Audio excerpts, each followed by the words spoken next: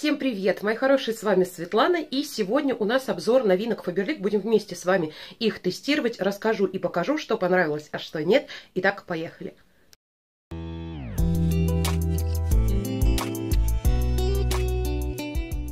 Так, девчонки, по серии новой для волос салон Kia которая уплотняющая, мультиколлаген, сыворотка, шампунь, бальзам.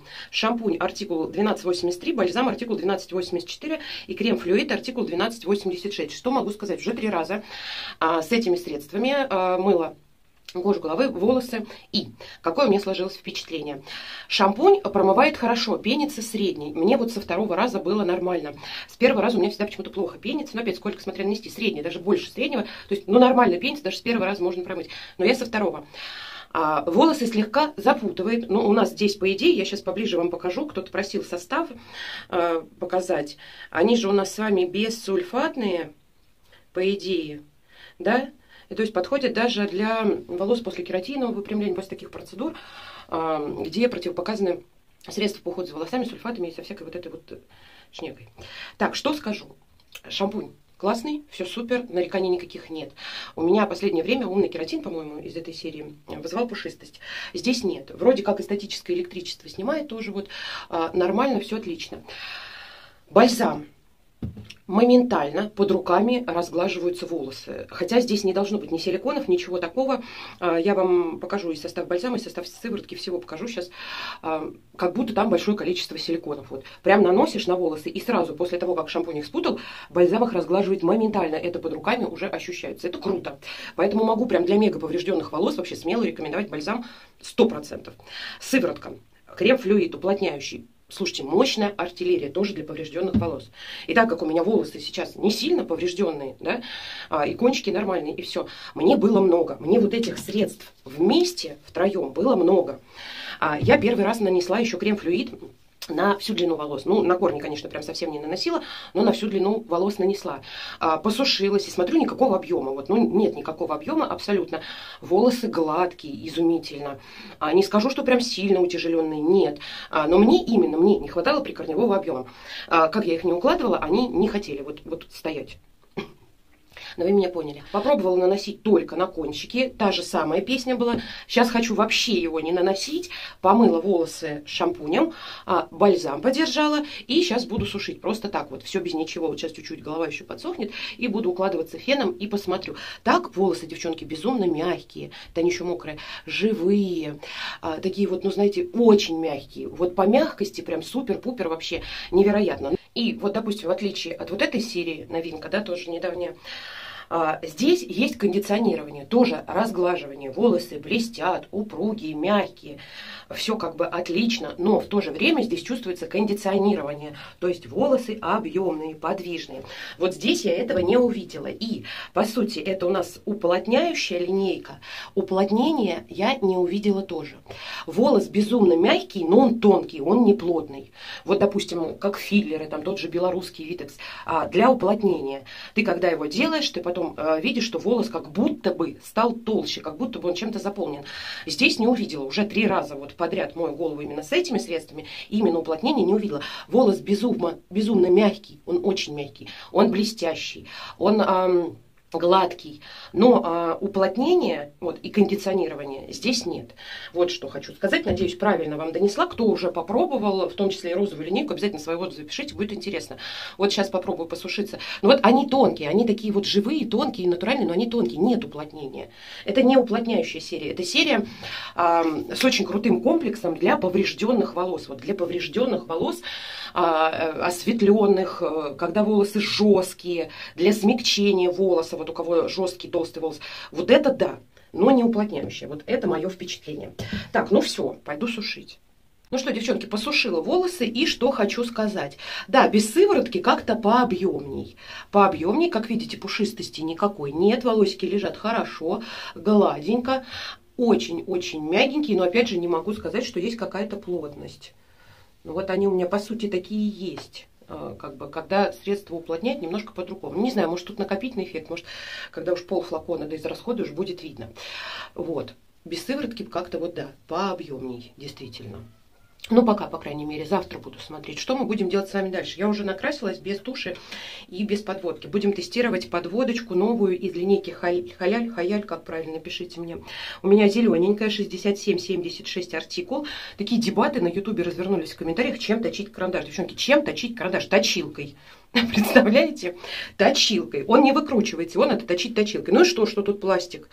Вместе с пластиком стачивается. Такие карандаши Фаберлик, в принципе, уже давно кругом. Обычной точилкой берем и точим. Не боимся.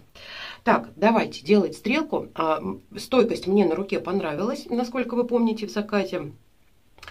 Она прям такая классная. Понравилось то, что это такой зеленый приглушенный, не яркий. Я сейчас пока межресничку прорисую. Работать карандашком удобно, прям удобненько, мне нравится.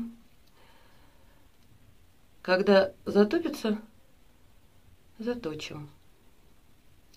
Здесь есть шиммер, э, равномерный такой блеск сияния. А, это хорошо для уставших глазок, потому что сияние на, над центром глаза, вот тут, а, всегда очень хорошо омолаживает глазки, делает взгляд более свежим. Я прям рисую такой толстую сейчас, чтобы вам было видно. И по цвету оценили, как на глазках вообще смотрится. Маленькую стрелочку нарисую. Малышку.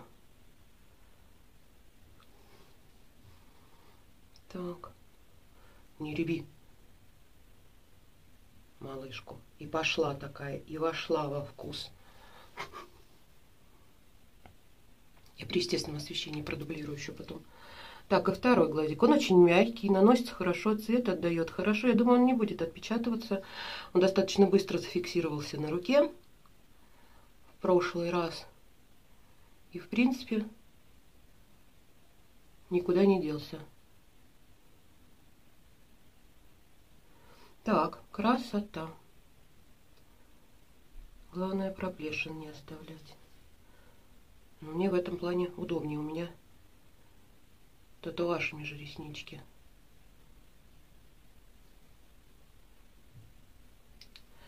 Так, смотрим, одинаковый, нет? Ну, практически. Хороший такой приглушенный оттеночек, не ярко-зеленый в глаза не бросается, не, не вырви глаз, но в то же время зелененький. Так, все, сейчас тушь нанесу и покажу при естественном освещении. Девчонки, сейчас сразу расскажу, пока взяла. Средства у нас еще с вами для ухода за ногтями и кутикулой. Вот это халяль зеленая. 67-77 артикул. Что хочу про него сказать. А, средство прикольное, но у него такая одушка нереальная. Вот вы себе не представляете. Средство прикольное и очень-очень питательное. Из всех средств для ногтей, для кутикулы, что есть Фаберлик. Это самое питательное средство, могу сказать смело. Фаберлик есть маслянистое, вот это двухфазное, да, и так далее, другие, но они так не питают. Вроде масло масляное, но не питает, не впитывается, значит. Здесь действительно масло масляное. Сочи крутой, гурманско-ванильный, я вам уже говорила, какой-то ванильно-фруктовый, отдушкой. Прям безумно круто пахнет, мне очень нравится. Хочется такой парфюмчик на холодную осень, знаете, как согревающий глинтвейн а, с ароматом ванильки. Вот прям вкусненько. Но это масло масляное, то есть руки блестят какое-то время, продолжительное. Я люблю в основном на ночь. Или когда знаю, ну что точно в течение часа, там воду не полезу никуда, нанесла, как бы и с маслицем ходишь. Хватает еще потом на все руки. Вот видите, масло масляное. Да, но питает нереально круто, то есть уже сразу чувствуется смягчение. Бывают пустышки масла, вот реально, мне таких много встречалось, нанес вот а все равно вот нет питания, оно не впиталось почему-то, какой-то барьер просто масляный на коже создался, все. Здесь нет, здесь реально очень крутое смягчение. Так, сводч при естественном освещении. Вот видите, как переливается.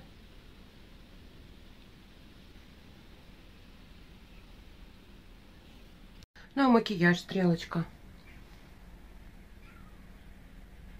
При естественном освещении. Красиво. Вроде как и не сильно там она какая-то угольно-черная, да, но в то же время не броская такая. Но если тоненькую сделать, я специально сейчас сделала потолще, чтобы цвет передачи была.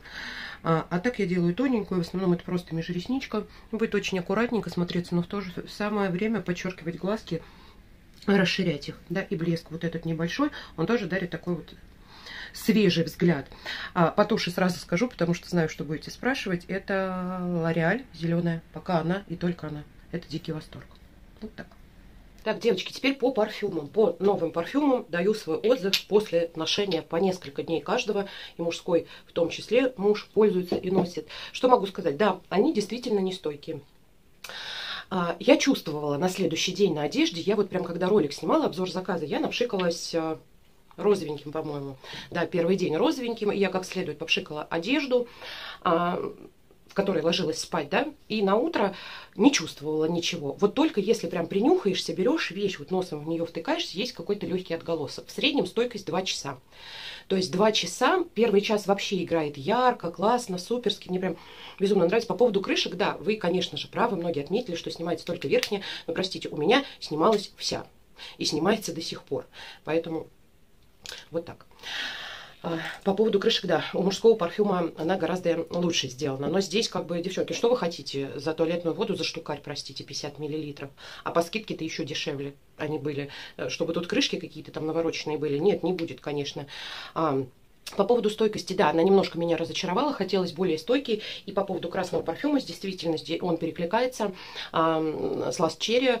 Мне это безумно нравится. Это такой вот глинтвейн компотик а, с очень интересным шлейфом, который, к сожалению, тоже быстро исчезает а, на холодную осень. Прям вот класс. Прям, прям даже на зиму вкусненько обволакивает, прям согревает. Классный аромат, мне безумно нравится. Вишню я здесь отчетливо тоже чувствую. Так и не смотрела, кстати, описание парфюмов, но мне это не важно. Нравится, значит нравится, не нравится, не нравится. А что там написано? Написать можно все, что угодно. Так, что еще сказать? По мужскому то же самое, да, маленькая стойкость, ни на одежде, нигде. На следующий день не чувствую, но аромат обалденный. Мне, например, очень нравится его нам уже слышать. А, многие, вы знаете, любят вот парфюмы. Кто-то пишет, меня там парфюм душит. Я не люблю вот такие вот, вот громкие, кричащие, когда с одного пшика ты ходишь и неделю пахнешь. Я люблю такие, наоборот, но кто-то вот любит наоборот, минимализм. То есть легенький, когда от тебя аромат есть, и все. Вот это ваша тогда будет история. Обязательно возьмите, потому что ароматы на самом деле очень достойные. Они вкусные, они интересные. Мне очень нравятся оба. А, не могу до сих пор даже выделить, какой больше. Они абсолютно разные и оба очень интересные. Про стойкость вам сказала. Про крышки поговорили. Ну и все, в принципе. На этом ролик тогда буду заканчивать. Если вопросы остались, пишите в комментариях. Ссылка для регистрации в Фаберлик, как всегда, под видео. Всех люблю, целую. Всем пока-пока.